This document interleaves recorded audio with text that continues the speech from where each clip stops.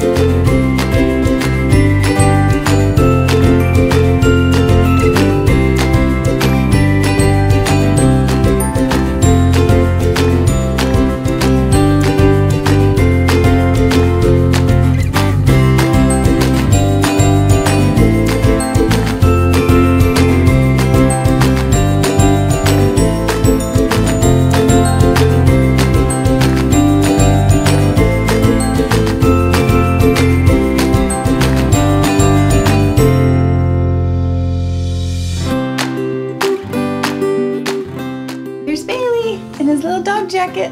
Doesn't he look so handsome? He just loves the way it fits and it's nice and soft and snuggly so he can wear it all winter long. Can you say bye, Bailey? Say bye-bye.